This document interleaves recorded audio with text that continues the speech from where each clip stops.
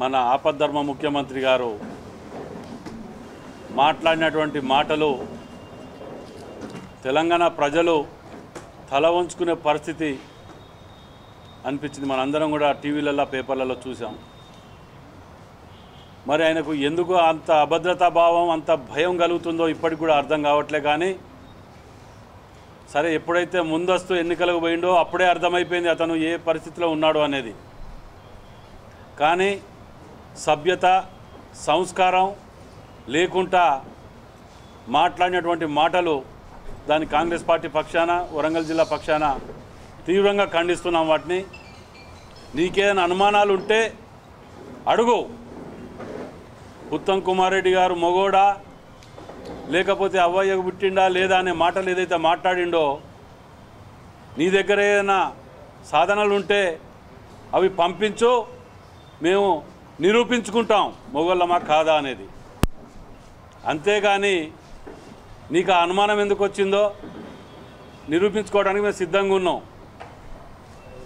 మరి అవ్వయ్యకు పుట్టిండా అని అంటే ఓ తెలంగాణలో పుట్టిన బిడ్డనని చెప్తావు. అవ్వయ్యకు పుట్టిండా అని మాట్లాడొచ్చా అది? నీకు సిగ్గు శరం లజ్జ ఉంటే నువ్వు డిఎన్ఏ చెక్ చేయించుకో. మాకు అనుమానం ఉన్నది. ఆ రోజు ఎన్టీ రామారావు పేరు పెట్టుకుని నీ కొడుకు పెట్టుకున్నావు కదా ఆ రోజే చాలామంది అనుమానపడ్డారు మరి. ఈ విషయంలో ఇట్లా మాట్లాడంటే మాకు బాధేస్తుంది మాట్లాడాలంటే కూడా ఇలాంటి మాటలు. నువ్వు మాట్లాడిన తర్వాత మేము కొన్ని వాడలలోకి పోయి ఇప్పుడు నేర్చుకొని వచ్చినాం నీ గురించి మాట్లాడటానికే ఆ రోజు నీకు ఆంధ్రాకు పోయి చేపల కూర తినొచ్చి పొత్తు పెట్టుకొని చంద్రబాబు నాయుడు గురించి పొగడతలు మాట్లాడిన మాటలు మేము ఇంకా మర్చిపోలే. ఇవాళ ఎలక్షన్లు వస్తాయని చెప్పి మళ్ళా తెలంగాణని తెర మీదకి తీసుకొచ్చి మళ్ళా రెచ్చగొట్టి మళ్ళా ప్రాణాలను బలిగొనే ప్రయత్నం చేస్తున్నావు నువ్వు. నువ్వు తాగి ఇంట్లో అంటే తెలంగాణ వచ్చిందా? ఉన్నొక్క ఎంపీ ఇంతకంటే పెద్ద పోరాటాలు జరగలేదా? మరి నువ్వే సాధించుకొని తీసుకొచ్చిన దానివైతే సోనియా గాంధీ గారి కాళ్ళ మీద పడి నీ కుటుంబం కుటుంబం పడ్డప్పుడు సిగ్గుసరం లేదా నీకు?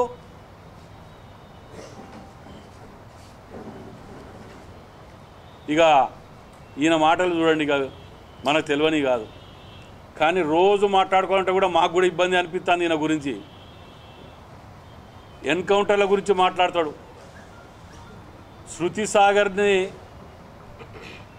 ఎన్ని చిత్రహింసలు పెట్టి ఎన్కౌంటర్ చేసింది వరంగల్ జిల్లా ప్రజలు మర్చిపోయిన అనుకుంటానో లేకుంటే తెలంగాణ ప్రజలు మర్చిపోయిన అనుకుంటానో తెలియదు కానీ నువ్వు తాగి మర్చిపోయినావు కావచ్చు. కానీ ప్రజలు మర్చిపోలే. వెంకటాపురం ఎన్కౌంటర్ మర్చిపోయినరా? పది మందిని బలిగొన్నావు నక్సలైట్ ఎజెండా అన్నావు. ఇవాళ నక్సలైట్ అనే దాన్ని లేకుండా చేసి విచ్చలవిడిగా నయీం దాంట్లో ఉన్న వాళ్ళను కూడా రక్షించినటువంటి ఘనత మీది.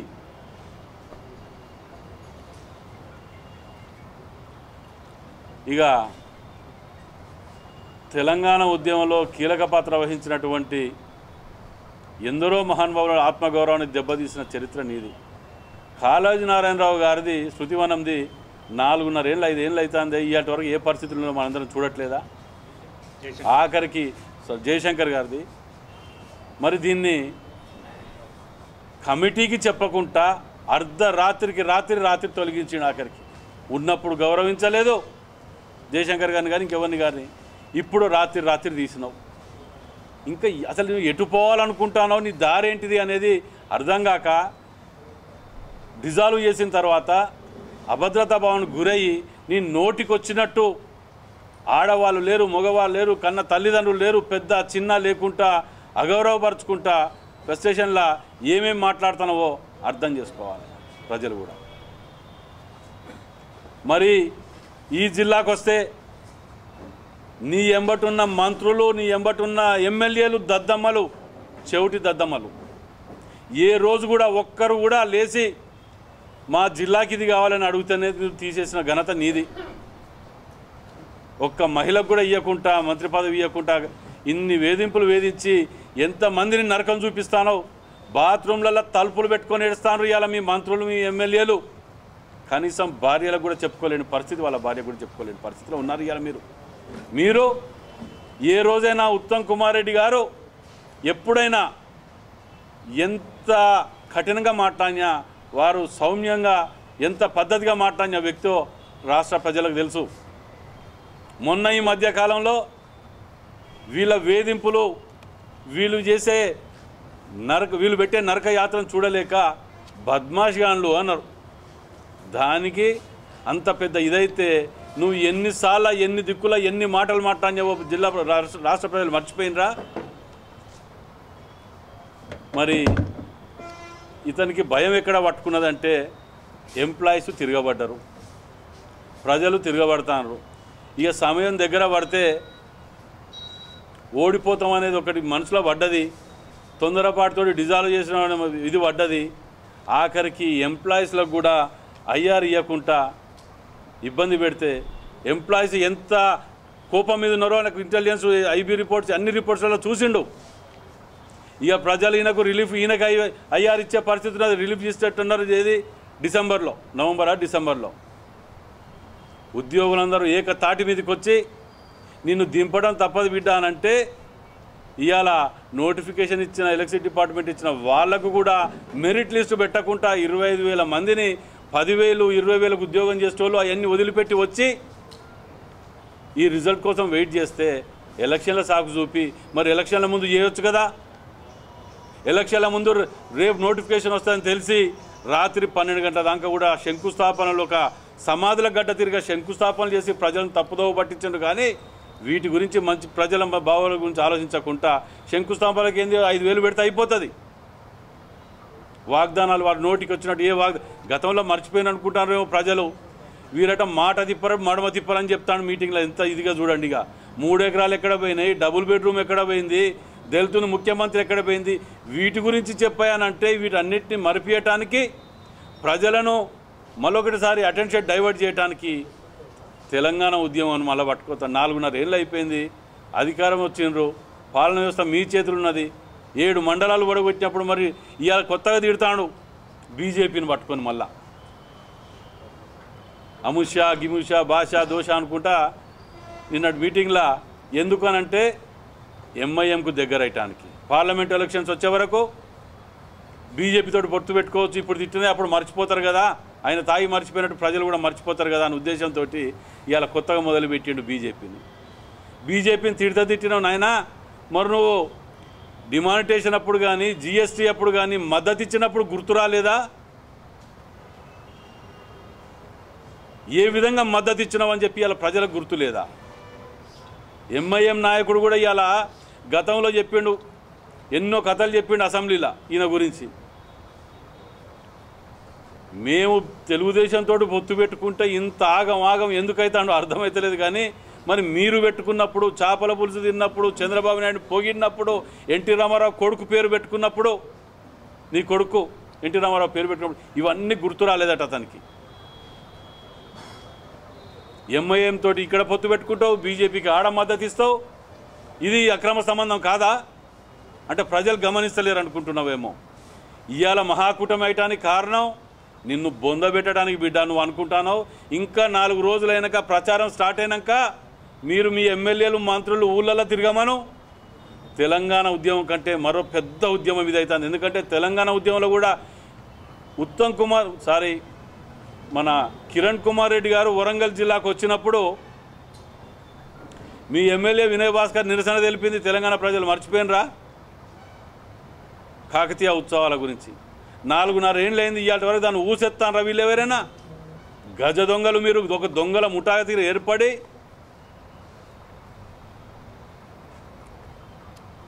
ఆంధ్ర మీద ఏది తెలంగాణ మీద నీకు అంత ప్రేమ అయితే. గతంలో మాట్లాడిన మాటలు మర్చిపోయినావా?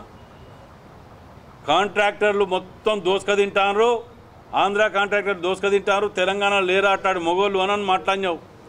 ఇవాళ తెలంగాణ కాంట్రాక్టర్ని వదిలిపెట్టి మెగా కన్స్ట్రక్షన్కు కానీ వేరే వేరే కన్స్ట్రక్షన్కి ఆంధ్ర వాళ్ళకి తప్ప నువ్వు తెలంగాణకు ఇచ్చిన కాంట్రాక్ట్ ఏదో ఒకటి చూపి ఒకటి. ఒక్కడు చూపించకుండా మేము ప్రాజెక్టుల మీద ఎన్నో తీర్ల ప్రెస్ మీట్లు పెట్టి దాన్ని లైవ్ టెలికాస్ట్ చేసి ఎక్స్ప్లెయిన్ చేసిన సందర్భాలు ఉన్నాయి. ఇదే ఉత్తమ్ కుమార్ రెడ్డి గారు దాసోజి శ్రవణ్ గారికి ఇట్లా.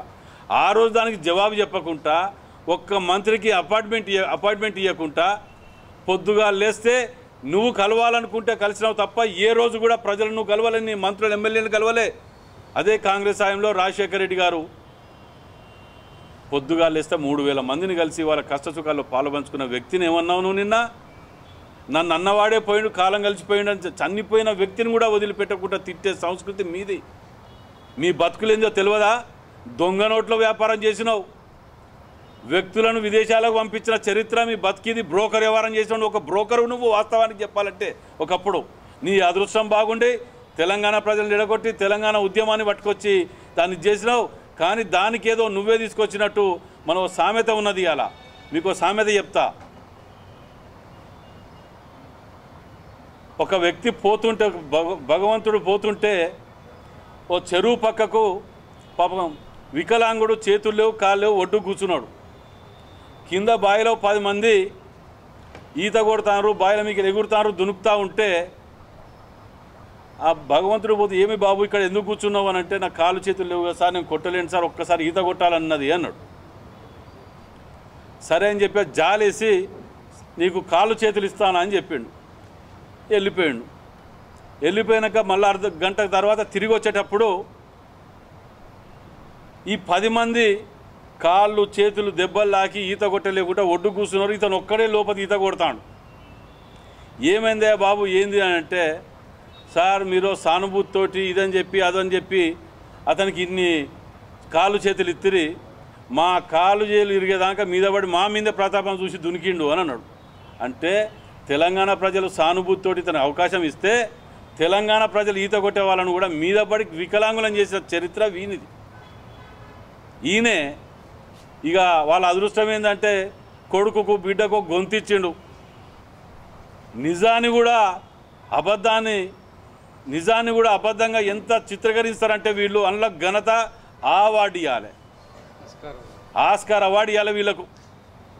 ఇవాళ చెప్తానిక కొత్తగా ఎలక్షన్ మేనిఫెస్టో ఇక చూపిస్తే అన్ని కంప్లీట్ అయిన నైంటీ పర్సెంట్ అట. ఎలక్షన్ మేనిఫెస్టో వాళ్ళ దగ్గర బుక్ ఉన్నదో లేదో టూ థౌజండ్ ఫోర్టీన్ కానీ నా దగ్గర ఉన్నది. వాళ్ళు ప్రింట్ చేయించిన బుక్ ఉన్నది నా దగ్గర గతంలో కూడా చూపించడం జరిగింది. చేసిన ఏందో ఎలక్షన్ మేనిఫెస్టోలో ఒకటి చూపియండి. కరెంటు గురించి మాట్లాడతాడు ఊ అంటే కరెంటు గురించి మాట్లాడతాడు. కరెంట్ ఏమన్నాడు? మూడేళ్ళ వరకు మనం భరించాలే తప్పదు అన్నాడు. అంతకుముందు ఏమన్నాడు? రెండు పోలు వేసి తీగేస్తే అవతల ఛత్తీస్గఢ్కి వెళ్ళి ఇరవై నాలుగు గంటలు తీసుకురావచ్చు దాన్ని దద్దమ్మలు అన్నాడు. వచ్చిన తర్వాత కరె కరెంటు గురించి కరీంనగర్లో మూడు మూడు ఏళ్ళు ఓపిక పట్టాలి అన్నాడు. దాని తర్వాత కమిషన్లకు రుచి మరిగిండ్రు ఉన్న డబ్బు పెట్టి ఇవాళ మనం ఉన్న ఉదాహరణకు రెండు లక్షల పైచీలిక కోట్లు అప్పు చేసినాక కరెంటు తీసుకురావడం ఘనతనా ఏమన్నా? పోనీ నువ్వు కొత్తగా ఏం యూనిట్లు పెట్టినావు ఏం మ్యానుఫ్యాక్చర్ చేసినావో మాకు చూపియండి తెలంగాణ ప్రజలకు. ఈ నుంచి కరెంట్ ప్రొడ్యూస్ చేసినాం తెలంగాణలో పెట్టి మేము ప్రొడ్యూస్ చేసినాం అనేది ఒక కాడ చూపియండి. అది వదిలిపెట్టి రెండున్నర లక్షల కో- కోట్లు అప్పు చేసి కరెంటు కమిషన్ వస్తుందని చెప్పి తక్కువ రేట్ వస్తా అంటే కూడా ఛత్తీస్గఢ్లో ఎక్కువ ధర పెట్టి కొన్న ఘనత చరిత్ర మీది. దానికి మేము ఇరవై నాలుగు గంటలు కరెంట్ ఇచ్చినాం ఇరవై నాలుగు గంటలు కరెంట్ చేసినాం మేము మాత్రం చేయలేదయ్యా ఏ రోజు కూడా పదహారు వేల కోట్ల మిగులు బడ్జెట్ ఉన్న తెలంగాణని రెండున్నర లక్షల కోట్ల అప్పు చేసిన చరిత్ర మీది కానీ మేము అలాంటి తప్పులు ఎన్నడూ చేయలే. అప్పు చేసి కప్- అప్పు చేసి కోడి కూరలు ఈ కూర వేసుకొని ఎన్నడూ తినలే. ఉన్న దాంట్లో బతికినాం ప్రజల మీద భారం వేయకుండా బతికినాం. మీ తీరుగా హైదరాబాద్లో అరవై రూపాయలు ఉంటే ఇక్కడ యాభై రూపాయలు పెట్టాం చెత్త కదా. ఒక్కటి చాలదని నిదర్శనం మీకు? ఏ ఒక్క వరంగల్ జిల్లా దద్దమైన మంత్రులు కానీ ఎమ్మెల్యేలు మాట్లాడినరా? ఉన్నాయి తరలిపోయినాయి ఇక్కడికి వెళ్ళి అన్నీ కూడా. దానికంటే ముఖ్యం బాధేస్తాంది వరంగల్ని మాత్రం సర్వనాశనం చేసిండి అలా జోనల్ వ్యవస్థలో వరంగల్ ఎక్కడన్నా ఉన్నదా మనకు? అసలు జోనల్ వ్యవస్థలో వరంగల్ అనేది లేనేలేదు ఇలా ఇంత పెద్ద చరిత్ర గల వరంగల్ నువ్వు చెప్పినావు గతంలో ఇక్కడ కూర్చొని కొండ సురేఖ గారిని గెలిపియండి వినయ్ భాస్కర్ గారిని గెలిపియండి అండర్ గ్రౌండ్ డ్రైనేజ్ పట్టుకొస్తా తెలంగాణలో అతిపెద్ద జిల్లా వరంగల్ జిల్లా అని వరంగల్ జిల్లాని ఐదు ముక్కలు చేసి సర్వనాశనం చేసింది కాక జోనల్ వ్యవస్థలో కూడా పేరు లేకుండా చేసినావు నువ్వు. మరి ఈ టీఆర్ఎస్ మంత్రులకు ఎమ్మెల్యేలకు దద్దమ్మలంటే ఎవరు వీలు కాదా? ఒక్కరైనా వరంగల్ జిల్లా పక్షాన మాట్లాడిన చరిత్ర ఉన్నదా ఇక్కడి నుంచి ఎవరైనా? పొద్దుగా లేస్తే ప్రెస్ మీట్ పెట్టి వచ్చిరాని మాటలతోటి ఇలాంటి బూతులు మాట్లాడుకుంటా నువ్వు చేసినావు కానీ ఏ రోజు మేము సమస్య మీద స్పందిస్తే సమస్య మీద జవాబు చెప్పాలి కానీ జవాబు చెప్పకుండా అడ్డగోలు మాటలతోటి దాటి వేసే దారిని అవలంబించినావు కానీ ఏ రోజు సమాధానం చెప్పలే నువ్వు? రాజకీయాలు వచ్చినప్పుడు కొట్లాడదాం ఎలక్షన్లు పోదాం అన్నీ చేద్దాం. కానీ మిగతా సమయంలో మేము అడిగిన ప్రశ్నలకు ఏ రోజైనా జవాబు చెప్పినవా? నలుగురు లంపెన్ గ్యాంగ్లను అడ్డం పెట్టుకొని ప్రెస్ మీట్లు పెట్టి వాటి మీద చెడు మాటలు మాట్లాడి అటెన్షన్ డైవర్ట్ చేసినావు కానీ సబ్జెక్టు మాట్లాడిన చరిత్ర ఏ ఒక్క మంత్రిది కూడా లేదు ఇక్కడ.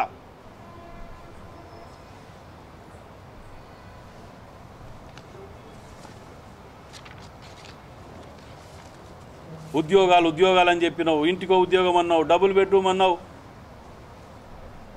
అసలు ఏది ఏదన్నా ఇది ఇచ్చినా అని నేను చెప్పుకుంటానికి జవాబు లేక మళ్ళీ కొత్త అంటే ఇవన్నీ డైవర్ట్ చేయడానికి మళ్ళీ ఆంధ్రోళ్ళు తెలంగాణ వాళ్ళు ఉద్యమం మేము చేసినాం మేము ఇది సాధించుకొని వచ్చినాం అని చెప్పుకుంటా దీన్ని దాటి వేస్తాడు ఇవన్నీ మర్చిపోతారు అనుకుంటాడు ఇచ్చిన వాగ్దానాలని. కాబట్టి రాష్ట్ర జిల్లా రాష్ట్ర ప్రజలందరికీ కూడా కాంగ్రెస్ పార్టీ పక్షాన ఉత్తమ్ కుమార్ రెడ్డి గారిని ఇలాంటి విమర్శలు మానుకొని మీరు చేసిన అభివృద్ధి ఏందో చెప్పుకోండి. ప్రజలు కనుక మీ పక్షాన ఉంటే మిమ్మల్ని గెలిపిస్తారు. ఒకవేళ మా పక్షాన ఉంటే మమ్మల్ని గెలిపిస్తారు కానీ ఈ వచ్చిరాని బూతులు నీకే అనుమానాలు ఉంటే ఇంతకుముందు చెప్పినట్టు ప్రూవ్ చేసుకో పంపి మీకు ప్రూవ్ చేసి పంపిస్తాం. అంతేగాని అవ్వయ్యకు పుట్టినవా అంటే నేను చెప్పినట్టు ఇంతకుముందు డిఎన్ఏ చెక్ చేయించుకో ఫస్ట్ అది నీకు వర్తిస్తుంది అది. మాకు కాదు. థ్యాంక్ యూ ఇక ఇంతకంటే పెద్ద మోసం ఇంకేమైనా ఉన్నదని అసలు మేము మీకు చెప్పడం కంటే గతంలో పదిసార్లు చెప్పిన నేను ఇది- దీన్ని మీ దగ్గర. మళ్ళా మళ్ళీ చెప్తాను ఊరికే అనుకోవచ్చు కానీ ఒక్కొక్క జర్నలిస్ట్కు కోటి కోటిన్నర విలువ చేసే ధైర్యంగా ఉన్నది ఖమ్మం జిల్లాల. రాజశేఖర్ గారి పీరియడ్లో ఇవాళ ఆస్తి వాళ్ళది.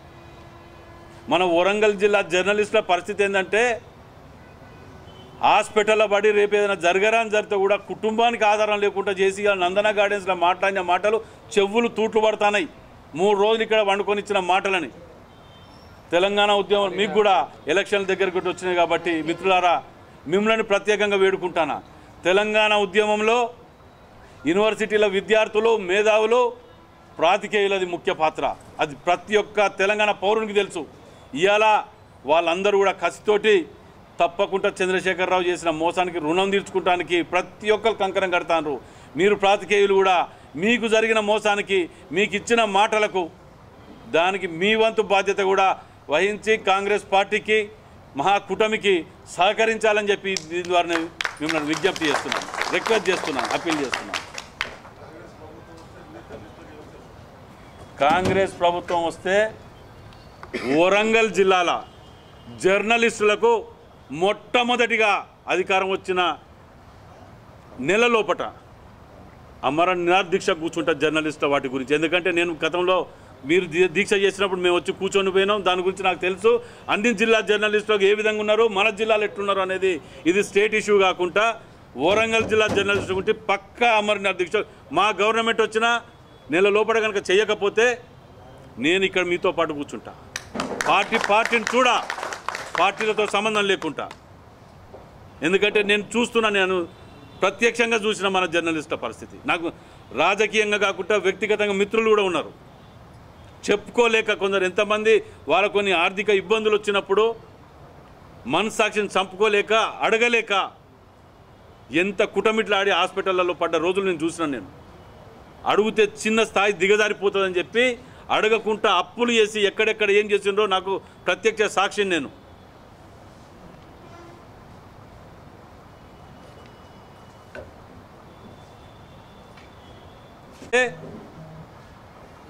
దాన్ని కేటీఆర్ కూడా అవమానించుకుంటూ ఎట్లా మాట్లాడిండంటే అతనికి ఇయ్య చేత కాదు ఇచ్చే వాళ్ళని వాగ్దానం చేసిన వాళ్ళని గతంలో ఎగతాళి చేసినట్టు చాలా ఎగతాళి చేసాను వీటి మీద.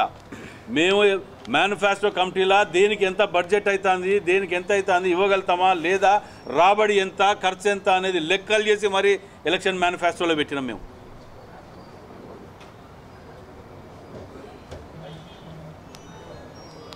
రేపడు రేపు ఎల్లుంట్లా మీరు గవర్నమెంట్ వచ్చిన తర్వాత కాదు ఎలక్షన్ మేనిఫెస్టో రేపు ఎల్లుండిలో రిలీజ్ కాబోతుంది.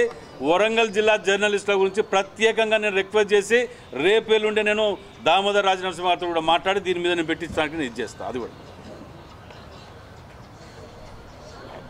ఎవరిని వదిలిపెట్టిండు కనుక మిమ్మల్ని పొద్దుగా లేస్తే ప్రతి ఒక్క రాజకీయ నాయకుడు విలేకరులని ఏది చెప్తే అది చేస్తే ఏ పార్టీ కానివ్వండి. అలాంటి వాళ్ళ గురించి కూడా భయము భక్తి లేకుండా మోసం చేసిండు. ఇది ఎంత బడ్జెట్లో అవుతుంది? ఒక వరంగల్ జిల్లాది.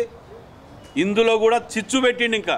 చిచ్చు పెట్టి వాళ్ళంటే వీళ్ళు ఇస్తలేరు వీళ్ళంటే వాళ్ళు ఇస్తలేరు అని చెప్పి నేను నేను ప్రత్యక్ష సాక్షిని అక్కడ మేము ఉన్నప్పుడు. దానికి కమిటీ వేసి రెండు రోజులల్లా అందరు కలిసి నలుగురు కలిసి లిస్ట్ అంటే ఇయ్యలేరా?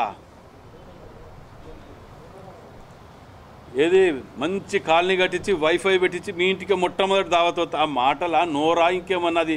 నాకైతే అది నోరు తిరిగి అనిపించలే ఏ రోజు కూడా అనిపించలే మనసు తిరిగి అనిపించలే. బస్బేలు క్యారిడారు. కారిడార్ ఎన్నో చెప్పి అసలు వాడు నిజంగా కూడా చెప్పాలంటే ఒక్క మాటలా అతను ఇచ్చిన మాటలు వాగ్దానాలకు ఆఖరికి మీరే సాక్ష్యం దున్నపోతును పట్టుకొచ్చి పెట్టినామంటే మాకు ఎంత విరక్తి చెందిందో చెప్పి అరే చెప్పిన మాటలే చెప్తాను రాజేంద్ర రెడ్డి గారు ఊకి ఇదే చెప్తానని చెప్పి మీకే అనిపించవచ్చు ఆఖరికి. విసుకెత్తవచ్చు మీకు కూడా. నిన్న నేను